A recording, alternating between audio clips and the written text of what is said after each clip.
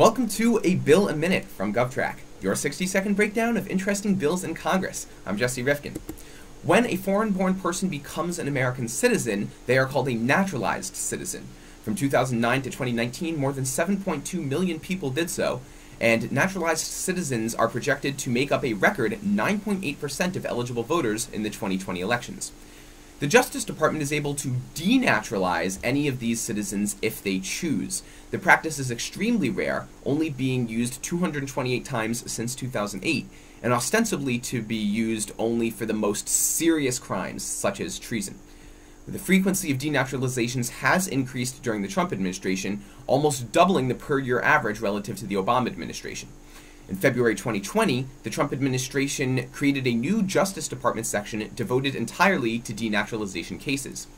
The Defend New Americans Act would prevent federal funding for that new Justice Department denaturalization section.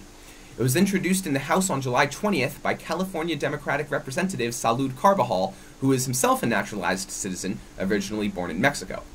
Now, supporters argue that the new Justice Department section is merely a fear tactic for the immigrant community, a solution in search of a problem, given the extremely low levels of actual denaturalization. But opponents counter that the new section is necessary to bolster the denaturalizations which have occurred and made the country safer as a result.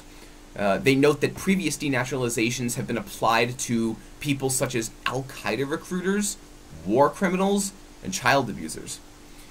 Well, look, as long as nobody denaturalizes the Canadian born Alex Trebek, I'm good.